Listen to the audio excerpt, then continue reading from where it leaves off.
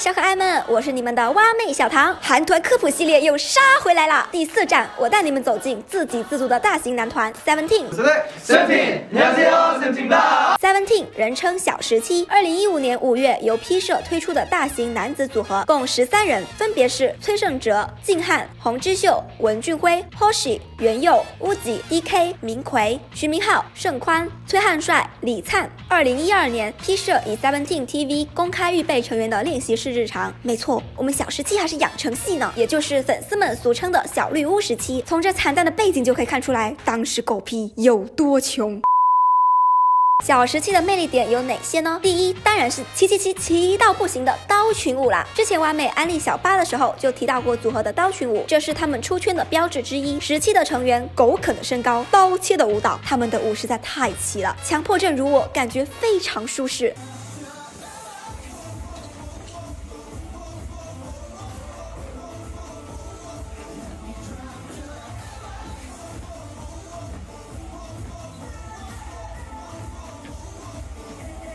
翻跳前辈的舞蹈不仅要齐，还要追求神似，谁站哪个位置都是商量过的。第二，他们的歌好听呀，而且风格多变，不局限于一个风格。出道时的少年感，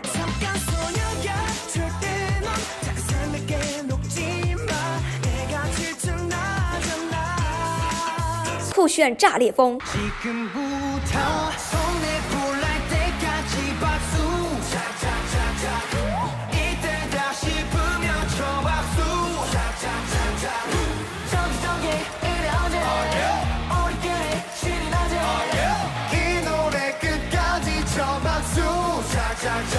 悲情电子风，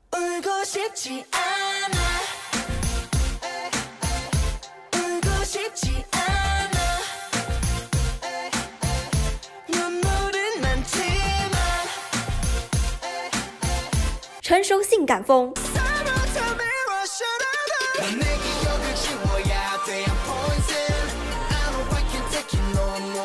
秋日治愈暖男。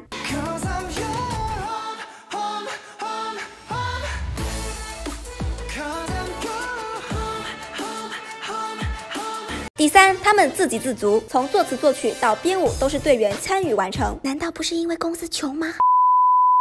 乌吉人称李老师，包办队内专辑所有歌曲的词曲创作，小时期的版权富人。目前登记在册的歌曲有八十七首，其他队员也未参与专辑的词曲创作。除了小时期自己的音乐，乌吉还写了 I O I 的解散曲《阵雨》，非常好哭。编舞则是由表演队的队长 Hoshi 和表演队的成员共同完成。团综的 O P E P 自己写，现场作词，一起讨论亮点舞蹈，一气呵成，甚至自己拍 M V。他们的歌曲是根据自己的心境写出来的，想要感谢粉丝，所以写出。了 Komada，抱着万一有一天大家要分开的心情，写下了微笑花。因为经常练舞到凌晨，所以写出了我们的凌晨比白天火热。还有很多很多歌曲，都像是时期的日记。他们把自己的经历写成一首首歌，记录他们奋斗过的故事。把他们的歌词翻译成中文，也有难得的诗意。还有十七的中文翻唱非常标准哦。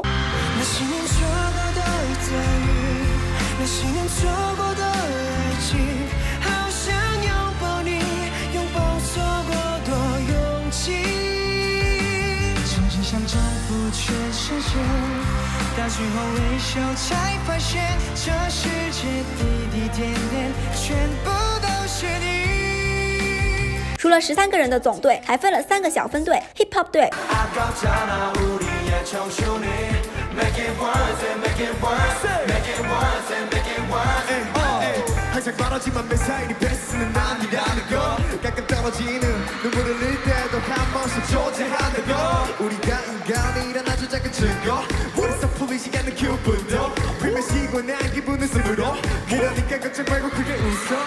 表演队又叫婆队。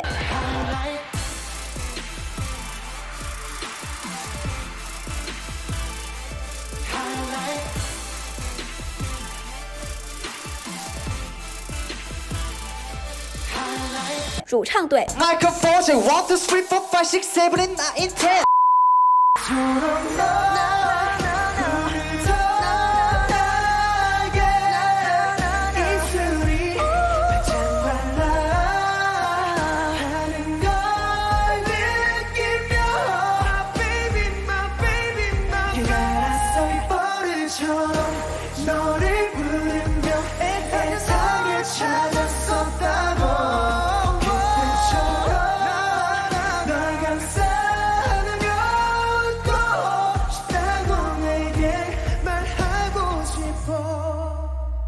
了业务能力过硬，他们的团综也很好笑，团队氛围很好。队内综艺常驻嘉宾是这三位。 아니 저기 죄송한데요. 여기 부석순 누가 붙여놨어요? 团综里永远不缺笑点。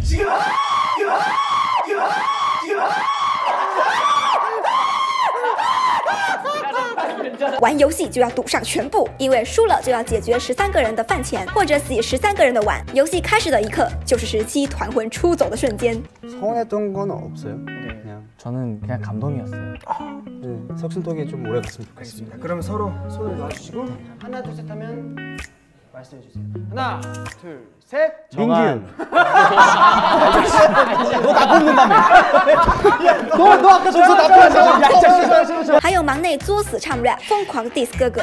오케이 너 나보다 예능 잘해 그리고 또 노래 잘해 요 그거 말고 또 뭐해 춤 내가 알려줬잖아 연생 때 근데 지금은 뭐만 해 너는 여기까지 여기까지 넌 여기까지 넌 여기까지 넌 여기까지 넌 여기까지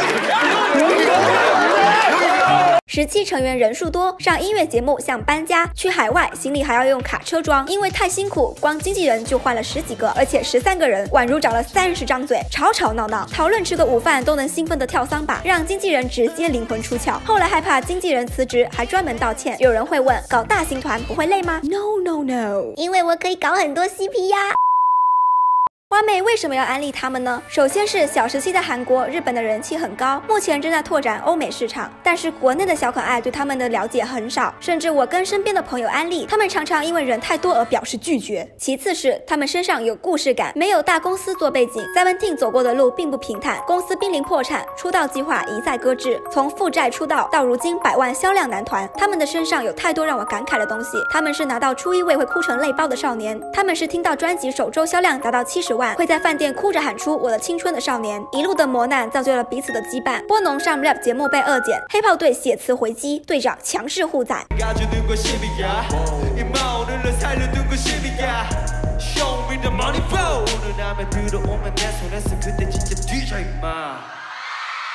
上节目明明是唠叨队友的环节，却用最啰嗦的语气讲出最心疼的话。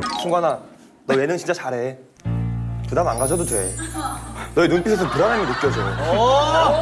야 그리고 다 같이 예능 나와서 네가 다 안 챙겨줘도 돼. 야, 얘도 다 머리가 있고 타이밍을 노리고. 와, 얘도 호시도 호시. 다 잘해. 平日里团建不离身，成员之间会观看彼此的行程，关心各自动态，互相应援。虽然说好成员太多不互送生日礼物，但还是会悄咪咪给成员准备生日惊喜。成员之间会发生口角，甚至会差点打起来，但是会注重沟通或者直接开骂。尊重成员之间的文化差异，上节目从来不让中国赖行跪拜大礼。徐明浩、文俊辉回国参加节目，努力宣传自己的组合。盛宽获综艺新人奖说。 없으니까 너무 보고 싶고 그런 멤버들 저희 세븐틴이 내년에 멋지게 또 준비를 하고 있거든요. 每一个人都在为了 Seventeen 而努力，团魂永远闪闪发光，这就是我最终愿意躺在坑里的原因啊！成员对于他们来说是最重要的存在。 회사보다 멤버들이 우선이니까요. 저한테 케렌시아는 얘네예요. 진짜 솔직하게 우리 저희 팀이 좀 오래 갔으면 좋겠어요. 正如他们所说，粉丝和成员真正想要的是 Seventeen 长久走下去。队长看到最开心的评论是 Seventeen 在安静的成长呢。出道五年，即使在魔鬼行程下，依旧保持日常团综的更新，坚持不定期直播。他们珍惜每一个站上舞台的机会，甚至因为跳舞太用力，导致有成员在表演时肩膀脱臼。被大家称赞的刀群舞背后是一遍又一遍的练习，一次又一次的调整。走过五年，获过大赏，也负过伤，但是唯一没想过的就是放弃。 不负来时路，不负少年梦，不负身边人，不负应援海。蛙妹希望一步一个脚印的小十七可以走得更长远。我们和十七还有很久很久的未来可以相伴。好了，今天蛙妹就讲到这里。你们是什么时候开始喜欢小十七的呢？你们还希望蛙妹安利哪个韩团呢？欢迎在弹幕或评论区留言，记得要点赞、投币、收藏，一键三连。关注蛙蛙蛙妹，蛙妹在这里等你哦。